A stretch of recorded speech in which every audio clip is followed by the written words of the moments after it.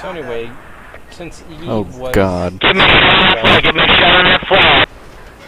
so much about spurging, I mean, they tried to go whole where we'll sell vanity items and give people human player avatars, and it's great that it backfired so much because it's it's time that something like that finally backfired on the It people was making the game. super pro. Hmm.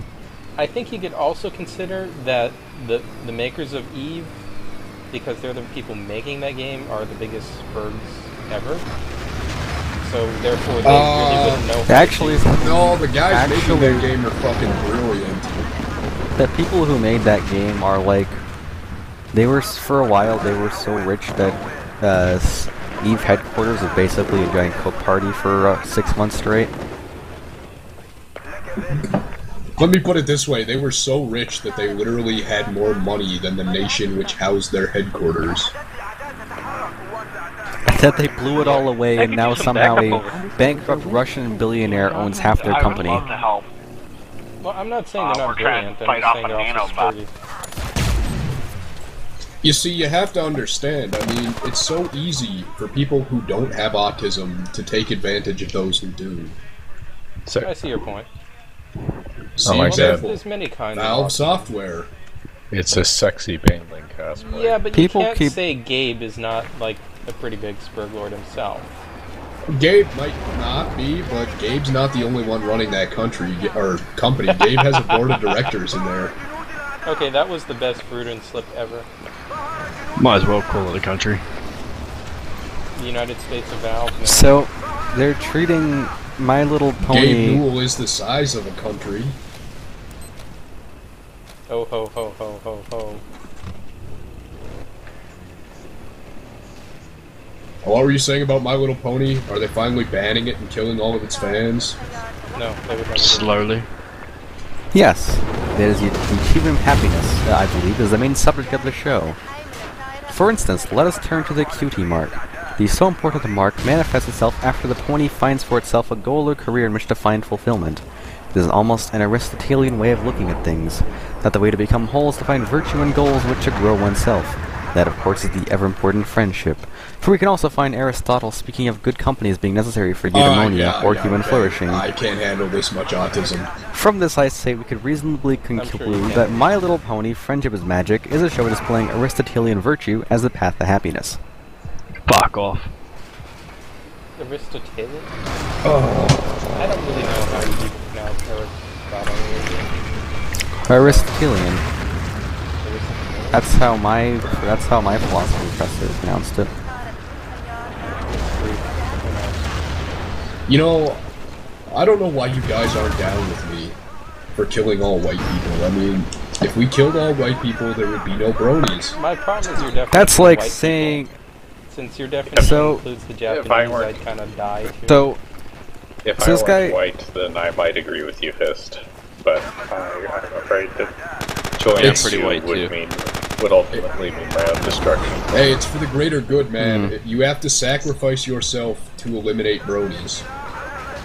So Look, Airfield. look- Just look at it this way: no woman is about to ever take going to have sex with me, so there's no danger of Oh. me reproducing.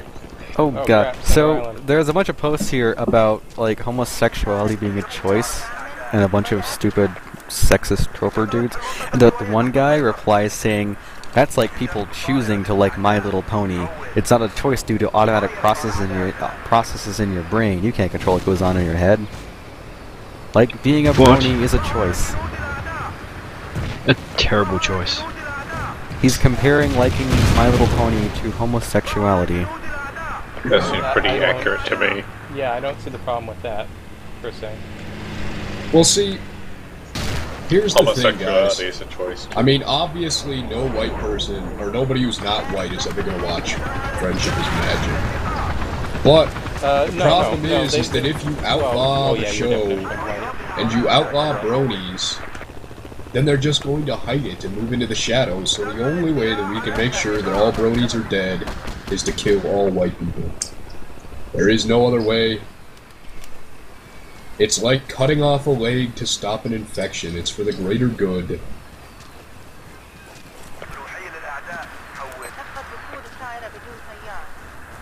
Aspiring Dark Lord, Satanile Mac Malastino God Killer Von Hellington, the All Deathbringer. What?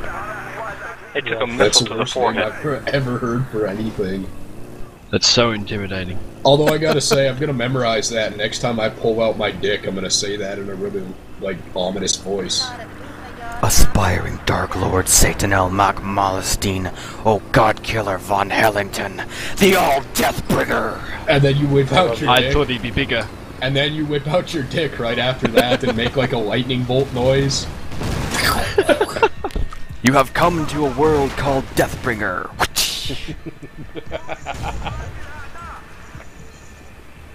Fucking troopers. I wonder if they realize how fucking ridiculous and fucked up they are. Probably not. wouldn't want to if I was, so I guess not.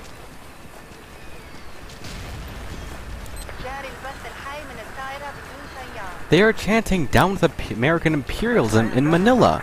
The Sydney protesters are against American influence on Australian affairs. Tokyo's protests are similar. Down with nuclear power and down with the US-led Trans-Pacific Free Trade Agreements? So what gives exactly? I mean, haven't we showed most of the world friendship for the last hundred years? Take the Philippines, Yes. for example. Just what does a country like America right have to do to get the Filipinos to like them Friendship. anyway? Wasn't liberating them from Spanish and Japanese occupation enough? But somehow the country that saved them is to blame for their own problems? Bull. This, Haven't we shown most of the world friendship? this I troper, literally have never seen anyone in my life who isn't white. this troper knows nothing about imperialism. Yeah, that that would be pretty accurate.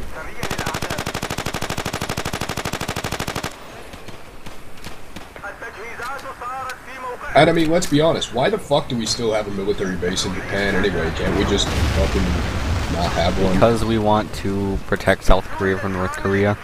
No, that's not. Yeah, that that would be like trying to. That would be like wanting to protect a professional boxer from a quadriplegic midget. The answer is always because Empire. also because Empire. Because we need to have something in that quadrant of the planet. You see, it's like the U.S. Federation of planets.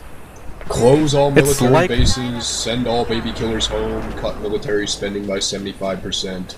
Ron Paul 2012. Yeah, Congratulations. here Congress wants to Congress fixed. wants to cut veteran smoking health care hardcore, man. benefits again because it's socialism. Yeah, I noticed. Good. I don't know why we should pay Oh, did to keep say him former baby killers alive. Him. Because Oh, then they have the PTSD and then they shoot up Holocaust museums.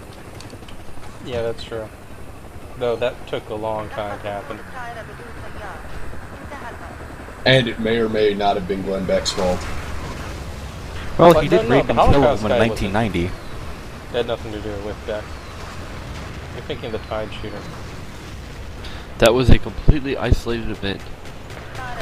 Have you guys I've- ever noticed that America is the only nation that has lone nuts? Well, up until that uh, Norwegian shooter who came straight out and admitted multiple times over multiple spans of years that he was working with a group called the Knights Templar. And that's But we're just shooter. gonna we're just gonna pretend that they don't exist because white people cannot be terrorists, guys. They just have to be lone nuts. It's literally What about the- impossible for a white person Uh, well, they have the. KKK. Because it, it's more likely that there is a shadowy organization called the Knights Templar than it is in this insane serial killer. Maybe you should play this video game called that he Deus Ex. something important. Knights Templar aren't really a big deal in Deus Ex 1. And in, uh, No, he wasn't talking about the medieval Knights Templar. He was talking about how him and his friends formed a terrorist cell in Norway, which they were calling Oh, the yeah. Knights Templar. Oh, oh, Right. oh, I see. yeah, but you see, Oh, there's a possible. lot of white people claiming they're Knights Templars these days, so...